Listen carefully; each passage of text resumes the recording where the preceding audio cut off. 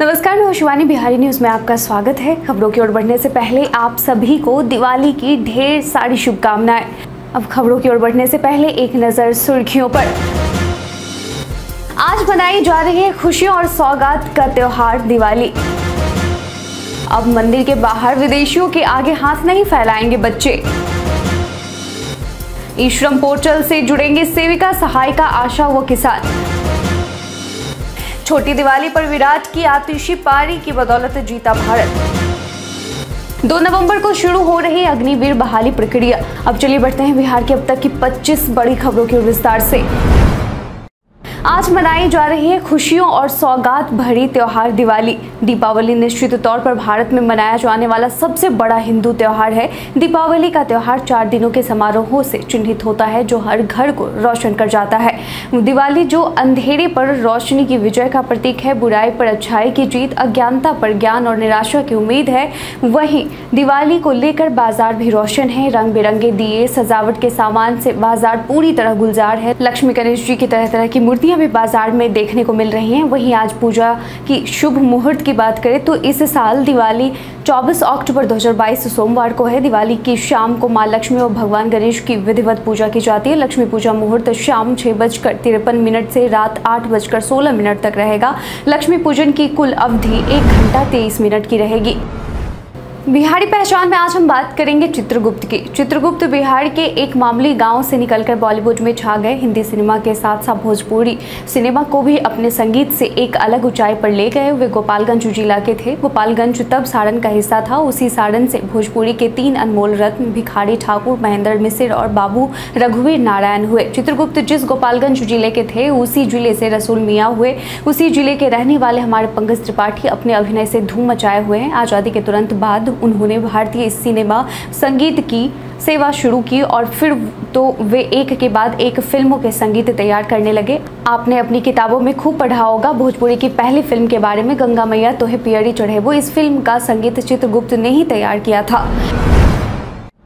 Cabinet secretariat ने पंद्रह रिक्तियों के लिए जारी किया नोटिफिकेशन कैबिनेट सेक्रेटेरिएट ने डिप्टी फ़ील्ड ऑफिसर के कुल मिलाकर पंद्रह रिक्तियों पर भर्ती के लिए नोटिफिकेशन जारी किया है। इन पदों के लिए अगर शैक्षणिक योग्यता की बात की जाए तो आवेदक को bachelor degree with diploma in Chinese language या bachelor degree in Chinese language pass होना चाहिए। इच्छुक और योग्य उम्मीदवार इस वैकेंसी नोटिस से जुड़ी हुई समस्त ज़रूरी जानकारी और आवेदन करने के लिए इस वीडियो के इसी पेज पर नीचे डिस्क्रिप्शन बॉक्स में दिए गए वेब लिंक पर ज़रूर क्लिक करें। आवेदन की अंतिम तारीख दो नवंबर दो है। विस्तृत जानकारी के लिए आप ऑफिशियल वेबसाइट सी पर जाकर चेक कर सकते हैं। आमस दरभंगा ग्रीनफील्ड एक्सप्रेसवे निर्माण का यहाँ फंस रहा पेच। भारतमाला परियोजना के तहत बनने वाली Amas Darbhanga N H D जो कि राज्य के सात जिलों से होकर गुजरेगी, इस महत्वाकांक्षी परियोजना के तहत बनने वाली इस एक्सप्रेसवे के निर्माण में अभी वक्त लगेगा। दरअसल, Amas Darbhanga N H D greenfield expressway के निर्माण में पटना और जहानाबाद ज़िले के ज़मीन के मुआवजे के भुगतान की गति धीमी है, इस वजह से इसके निर्माण में अधिक समय लगने की आशंका जताई जा रही है। आपको बता दें कि इस एनएच के बन जाने से उत्तर और दक्षिण बिहार के बीच संपर्क बढ़ेगी, जिससे राज्य में विकास के नए रास्ते खुलेंगे। इस एक्सप्रेसवे का निर्माण चार पैकेज में करीब एक सौ निन्यानवे किलोमीटर लंबाई में करीब छह करोड़ रुपए की लागत से होगी। अब मंदिर के बाहर विदेशियों के आगे हाथ नहीं फैलाएँगे बच्चे। बोध गया, जैसे पर्यटन स्थल पर अब बिहारी बच्चे विदेशियों से भीख मांगते नहीं दिखेंगे। अब यह बच्चे खुद अपने पैरों पर खड़े होंगे और आत्मनिर्भर बनेंगे। दरअसल इन बच्चे को भाषा सिखाकर आत्मनिर्भर बनाने की पहल की गई है। बोध गया के बकरौर गाँव में पूर्व से बने चढ़वाहा विद्यालय परिसर में आसपास के वैसे बच्चों को शिक्षित किया जा रहा है, जो बोध गया में विभिन्न मंदिरों के बाहर यहाँ आने वाले देशी विदेशी श्रद्धालु और सैलानियों के आगे हाथ फैलाया करते थे। इनमें ज़्यादा ज़्यादातर बच्चे वैसे हैं जो कि गाय, भैंस और बकरी चुराने में भी अपना बचपन खपा रहे थे। फ़िलहाल 170 बच्चे सुबह आठ बजे से दोपहर बारह बजे तक स्कूल आते हैं और हिंदी, अंग्रेज़ी, गणित के साथ ही तिब्बती भाषा की पढ़ाई करने में मन लगा रहे हैं।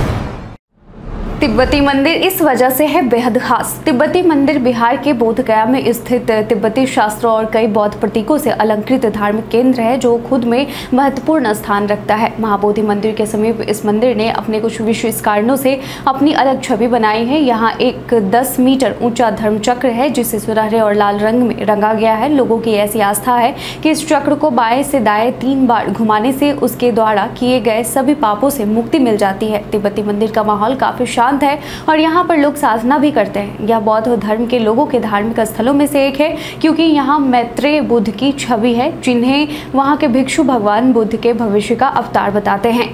ईश्रम पोर्टल से जुड़े ईश्रम पोर्टल से जुड़ेंगे सेविका, सहायिका आशा व किसान बिहार के असंगठित क्षेत्र में वैसे तीन करोड़ उनचास लाख श्रमिक, जिनका ई पीएफओ और ईएसआईसी में किसी तरह का योगदान नहीं है। श्रम संसाधन विभाग ने इनका निबंधन 31 दिसंबर तक ई श्रम पोर्टल पर कराने का लक्ष्य तय किया है। इस लक्ष्य के मुताबिक राज्य भर में कार्यरत आशा, जीविका, सेविका, सहायिका, कृषि क्षेत्र, श्रमिक एवं घरेलू कामगारों का भी निबंधन होना है। इसको लेकर विभाग ने हर संबंधित विभाग एवं केंद्र सरकार से इनका डाटा मांगा है ताकि इनका निबंधन कराकर इन्हें भी योजना से जोड़ा जा सके। वहीं छठ पूजा तक डाटा नहीं मिलने पर सभी ब्लॉक स्तर पर अभियान चला। इन्हें सीएससी लाया जाएगा, जहाँ इनका निबंधन होगा। इन सभी निबंधित श्रमिकों को दो लाख का दुर्घटना बीमा भी दिया जाएगा। उनतीस अक्टूबर तक मुंबई रूट पर उड़ान भरेगी अतिरिक्त विमान। त्योहारी सीज़न में बढ़ रहे यात्रियों के भीड़ को देखते हुए दरभंगा, मुंबई के बीच उड़ानों की संख्या बढ़ाई गई है। इस रूट पर तीन विमानों की आवाजाही होने लगी है। यह सुविधा उनतीस अक्टूबर तक बहाल रहेगी। छठ महापर्व पर यात्रियों के भारी दबाव को देखते हुए विमानन कंपनी ने डीजीसीए से अतिरिक्त विमानों के संचालन की अनुमति मांगी थी। प्रस्ताव स्वीकृत किए जाने के बाद कंपनी ने इस रूट में अतिरिक्त उड़ान प्रारंभ कर दी है। इक्कीस, बाईस, तेईस, अट्ठाईस और उनतीस अक्टूबर को मुंबई रूट पर तीन दिन विमानों का टिकट बुक हो रहा है। तो नवंबर को शुरू हो रही अग्निवीर बहाली प्रक्रिया। मुजफ्फरपुर भर्ती बोर्ड के द्वारा आयोजित की जा रही अग्निवीर की बहाली प्रक्रिया में कुल आठ जिलों के अभ्यर्थी शामिल होंगे, जो कि आगामी सत्रह नवंबर से शुरू होने जा रहा है। वहीं दो नवंबर से चौदह नवंबर तक गया आर्मी भर्ती बोर्ड की बहाली प्रक्रिया मुजफ्फरपुर के चक्कर मैदान में होनी है। इसकी तैयारी भी ज़ोर शोर से शुरू कर दी गई है। यह पूरी बहाली प्रक्रिया सीसीटीवी कैमरे की निगरानी में होगी। इधर चक्कर मैदान में डॉक्यूमेंटेशन, मेडिकल जाँच, मार्शलिंग और बैचिंग एरिया में पंडाल का निर्माण पूरा पूरा कर लिया गया है। साथ ही भर्ती बोर्ड के आगे वाली सड़क और ओल्ड रेस कोर्स एरिया के सड़क को दुरुस्त किया गया है। एडमिट कार्ड को अंतिम रूप देने में भर्ती बोर्ड जुट गई है। जोनल भर्ती बोर्ड से अनुमति मिलने के बाद इसे मुजफ्फरपुर भर्ती बोर्ड के अधीन सभी अभ्यर्थियों को अक्टूबर के अंतिम और नवंबर के पहले सप्ताह तक उनके ईमेल और आवेदन में दर्ज मोबाइल नंबर पर भर्ती बोर्ड एडमिट कार्ड भेज दिया जाएगा। आपके शहर में भी दिखेगा सूर्य ग्रहण दिवाली की तिथियों के बीच पड़ने वाला सूर्य ग्रहण साल का दूसरा और आखिरी सूर्य ग्रहण है। सूर्य ग्रहण के कारण 24 अक्टूबर को दिवाली है, जबकि 25 अक्टूबर 2022 को सूर्य ग्रहण लग रहा है। यह आंशिक सूर्य ग्रहण होगा। 25 अक्टूबर को लगने जा रहा साल का पहला सूर्य ग्रहण यूरोप, उत्तर पूर्वी अफ्रीका और पश्चिम एशिया के विभिन्न हिस्सों में नज़र आएगा। कुछ जगहों पर इसे भारत में भी देखा जा सकेगा। भारत में साल का दूसरा और आखिरी सूर्य ग्रहण दिल्ली, बैंगलोर, कोलकाता, चेन्नई, उज्जैन, वाराणसी और मथुरा में नज़र आएगा। पच्चीस अक्टूबर को ग्रहण के कारण इस बार दीपावली के ठीक अगले दिन गोवर्धन पूजा नहीं मनाई जाएगी। पटना में सूर्य ग्रहण चार बजकर चालीस मिनट से पाँच बजकर चौबीस मिनट तक दिखेगा। पटना में सूर्य ग्रहण चालीस मिनट तक दिखाई देगा। सूर्य ग्रहण से 12 घंटा पहले, यानी 25 अक्टूबर की सुबह चार बजे से ही सूतक लग जाएगा।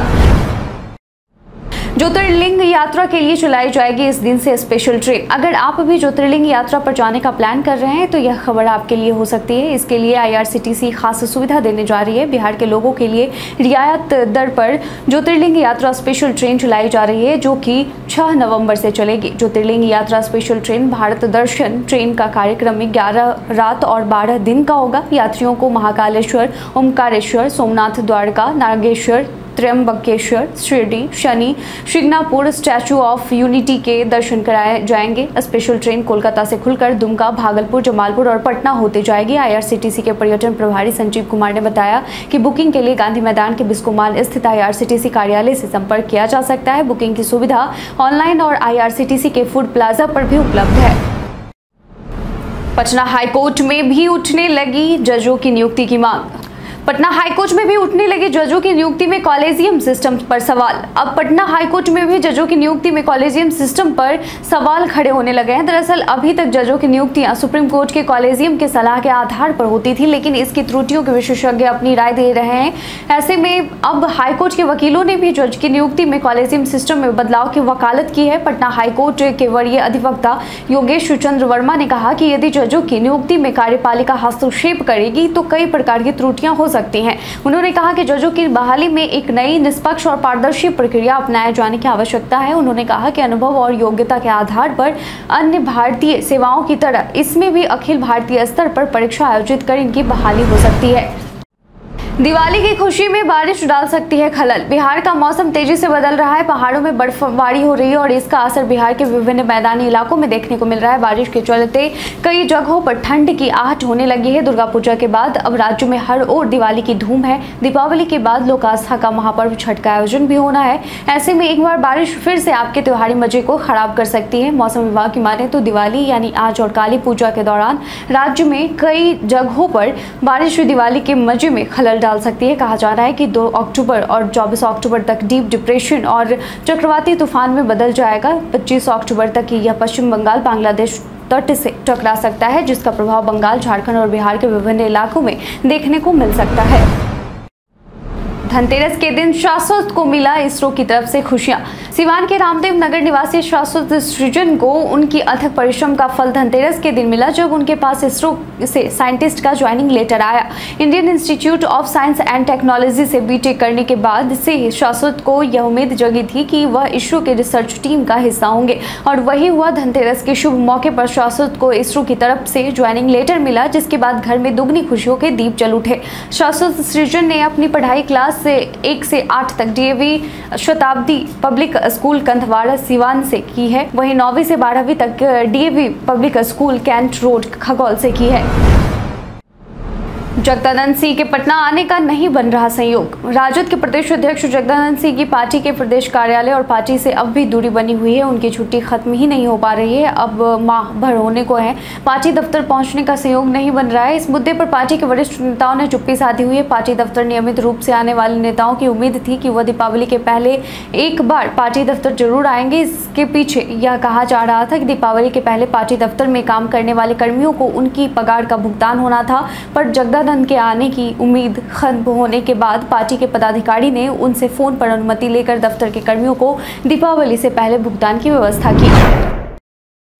दीपावली की पूर्व संध्या पर राज्यपाल और सीएम ने देशवासियों को दी बधाई। आज दीपावली का पावन दिन है और बीते दिन दीपावली की पूर्व संध्या पर मुख्यमंत्री नीतीश कुमार और राज्यपाल फागू चौहान ने समस्त देशवासियों को दीपावली की बधाई दी। राज्यपाल फागू चौहान ने कहा कि दीपों का यह त्योहार बुराई पर अच्छाई, अंधकार पर प्रकाश अज्ञान पर ज्ञान की विजय का प्रतीक है। यह स्वच्छता और प्रकाश का पर्व है। वहीं मुख्यमंत्री नीतीश कुमार ने अपने शुभकामना संदेश में कहा कि यह अंधेरे से उजाले का संकल्प एवं प्रकाश का महापर्व है। मुख्यमंत्री ने प्रदेशवासियों से आह्वान किया कि वे प्रकाश पर्व दिवाली को पारस्परिक सौहार्द, सद्भाव और उल्लास के साथ मनाएँ।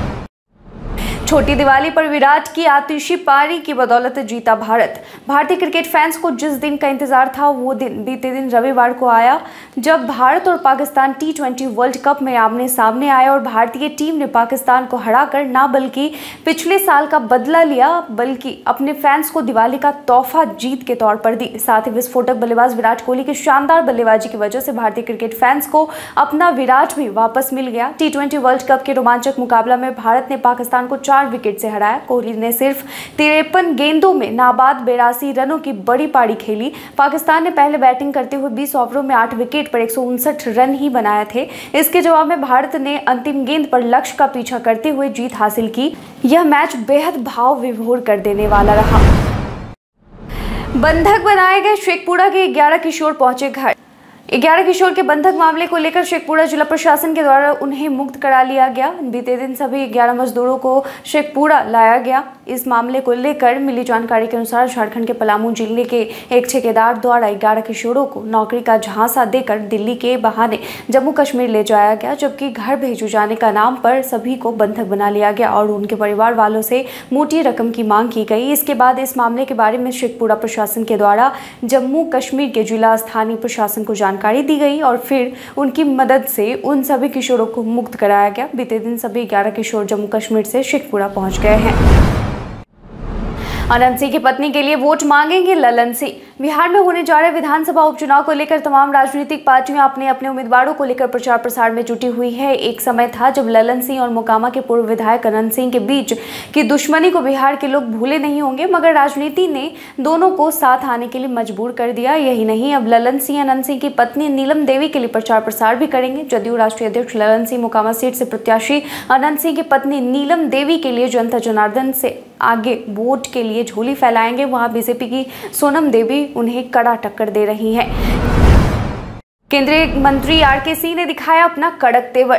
केंद्रीय ऊर्जा मंत्री आर के सिंह ने भ्रष्ट मेयर और पार्षद को लेकर अपने कड़क तेवर दिखाए। आरा में एक सभा को संबोधित करते हुए उन्होंने कहा कि नगर निगम के पार्षद और मेयर चोर हैं, डकैत हैं। आप लोग ऐसे पार्षदों को क्यों चुनते हैं? दरअसल शहर के जर्जर सड़कों को लेकर केंद्रीय मंत्री ने आपा खो दिया। उन्होंने ऐसे लोगों को हम डंडा मारकर ठीक करेंगे, ऐसे शब्दों का इस्तेमाल किया। आरा के कलेक्टर घाट पर एनटीपीसी का कार्यक्रम में केंद्रीय ऊर्जा मंत्री पहुँचे थे। आर के सिंह आरा के सांसद भी हैं। उन्होंने उनतीस लाख चालीस हज़ार रुपए की लागत से बने हाई मास्क लाइट का उद्घाटन करने आरा पहुँचे थे। सुशील मोदी का आरोप, डेंगू से निपटने में नीतीश सरकार विफल। पूरे प्रदेश में डेंगू ने कहर बरपाया हुआ है। बिहार सरकार के स्वास्थ्य व्यवस्था की लचर व्यवस्था को लेकर पूर्व डिप्टी सीएम ने एक बार फिर से नीतीश सरकार पर हमला बोला है। उन्होंने कहा कि मुख्यमंत्री नीतीश कुमार और सुपर सीएम तेजस्वी यादव कि प्रशासनिक लापरवाही के कारण राज्य में सात हज़ार से ज़्यादा मरीजों के साथ डेंगू का रिकॉर्ड टूटा है। इनमें से चार मरीज़ दम तोड़ चुके हैं। दर्जन भर ज़िले डेंगू की चपेट में हैं। मोदी ने कहा कि डेंगू मरीजों को भगवान भरोसे छोड़कर नीतीश कुमार पीएम बनने के सपने के पीछे भाग रहे हैं और तेजस्वी यादव भ्रष्टाचार से जुड़े मुकदमों में जमानत बचाने में लगे हुए हैं। पाँच लोगों की डूबने से गई जान, सीएम नीतीश ने जताया दुख। रविवार की दोपहर औरंगाबाद के गोह में उपहारा थाना क्षेत्र स्थित हमीद नगर में पुनपुन नदी में स्नान करने के दौरान चार बच्चियाँ डूब गई। इस दौरान बच्चियों को बचाने नदी में उतरे एक अन्य शख्स भी डूबकर मौत हो गई। बचाने वाले मृतक व्यक्ति की पहचान गाँव के ही शंकर ठाकुर के रूप में की गई। इस पर मुख्यमंत्री नीतीश कुमार ने गहरी शोक संवेदना व्यक्त की है। मुख्यमंत्री ने कहा कि औरंगाबाद में हुई इस हादसे से वे काफ़ी मरमाहत हुए हैं। सीएम ने मृतकों के आश्रितों को अविलंब चार चार लाख रुपए की अनुग्रह राशि उपलब्ध कराने का जिला प्रशासन को निर्देश दिया है। भारत के इतिहास में आज की तारीख कई कारणों से है दर्ज। जम्मू कश्मीर के एक नेता प्रेमनाथ डोगरा का जन्म अठारह सौ चौरासी में हुआ। भारत के प्रसिद्ध राजनीतिज्ञों में से एक समाजवादी नेता, सांसद तथा विचारक अशोक मेहता का जन्म 1911 में हुआ। स्वतंत्रता सेनानी और समाज सेविका लक्ष्मी सहगल का जन्म 1914 में हुआ। हिंदी फ़िल्मों के प्रसिद्ध अभिनेता जीवन का जन्म 1915 में हुआ। सुप्रसिद्ध कार्टूनिस्ट आर के लक्ष्मण का जन्म उन्नीस सौ इक्कीस में हुआ। महान फुटबॉल खिलाड़ी पेले का जन्म उन्नीस सौ चालीस में हुआ। भारत के प्रसिद्ध अंतरिक्ष वैज्ञानिक कृष्णा स्वामी कस्तूरी रंगन का जन्म उन्नीस सौ चालीस में हुआ। स्वतंत्रता सेनानी और राजनीतिक रफ़ी अहमद की दुआई का निधन उन्नीस में हुआ। भारत की प्रसिद्ध उर्दू साहित्यकार इसमत चुंगताई का निधन उन्नीस में हुआ। संयुक्त राष्ट्र के प्रथम महासचिव के चुनाव तक कार्यवाहक महासचिव ग्लेडविन जेब का निधन उन्नीस में हुआ। भारतीय राष्ट्रीय कांग्रेस के राजनीतिज्ञों में से एक सीताराम केसरी का निधन दो हज़ार में हुआ। भारत के एक महान गांधीवादी विचारक, इतिहासकार एवं दार्शनिक धर्मपाल का निधन 2006 में हुआ। भारत सरकार ने इन्हें सन 2005 में कला के क्षेत्र में पद्म भूषण से सम्मानित मुन्ना डे का निधन 2013 में हुआ प्रसिद्ध चुमरी गायिका गिरिजा देवी का निधन 2017 में हुआ। वायरल खबर में आज बात होगी फ्री में मिलने वाली वाईफाई के बारे में। सोशल मीडिया पर कई तरह की सूचनाएँ वायरल होती हैं, लेकिन सभी सच हो, ये ज़रूरी नहीं है। इसी कड़ी में आज हम बात करेंगे उपयोगकर्ताओं को मुफ़्त इंटरनेट प्रदान करने के बारे में। दरअसल पीआईबी ने अपने एक ट्वीट में कहा है कि एक व्हाट्सएप मैसेज में दावा किया जा रहा है कि भारत सरकार तीन महीने के लिए सौ मिलियन उपयोगकर्ताओं को मुफ़्त इंटरनेट प्रदान कर रही है। पीआईबी ने आगे लिखा कि यह दावा फर्जी है। भारत सरकार द्वारा ऐसी कोई घोषणा नहीं की गई है। ऐसे छिपा सकते हैं इंस्टाग्राम पर अपने लाइक्स और व्यूज़ कुछ महीने पहले इंस्टाग्राम की ओर से नया विकल्प रोल आउट किया गया है, जो उन्हें पोस्ट पर लाइक्स की संख्या छुपाने का विकल्प देता है। इसी तरह यूज़र्स किसी वीडियो पर आने वाले व्यूज़ भी छिपा सकते हैं। इस बदलाव के साथ अन्य यूज़र्स का फोकस पोस्ट या वीडियो पर होता है, ना कि लाइक्स की संख्या पर। अब आपको सेटिंग्स के प्राइवेसी सेक्शन में जाना होगा और पोस्ट पर टैप करना होगा। यही आपको hide like and view counts विकल्प मिलेगा। इस पर टैप करने के बाद आप चुन पाएँगे कि अन्य पोस्ट पर व्यूज़ या लाइक्स देखना चाहते हैं या नहीं। बीते दिन हमारे द्वारा पूछे गए सवाल का आप लोगों में से बहुत लोगों ने अपना जवाब में कमेंट सेक्शन में लिख कर दिया था। जिन्होंने पूछे गए सवाल का जवाब दिया उनके नाम है अखिलेश यादव कुश कुमार यादव, प्रहलाद कुमार, लाल मोहन प्रसाद, मनीष कुमार, भक्त विकास कुमार, कुलदीप कुमार, सुप्रिया कुमारी, नुनू कुमार, ओमकार सिंह और उमेश ऋषिदेव। इसके साथ ही बढ़ते हैं आज के सवाल की ओर। आज का सवाल है कि बीते दिन खेले गए भारत बनाम पाकिस्तान टी वर्ल्ड कप में आपको किस खिलाड़ी का प्रदर्शन सबसे बेहतर लगा? अपना जवाब में कमेंट सेक्शन में लिखकर ज़रूर बताएँ। आज के लिए बस इतना ही। धन्यवाद।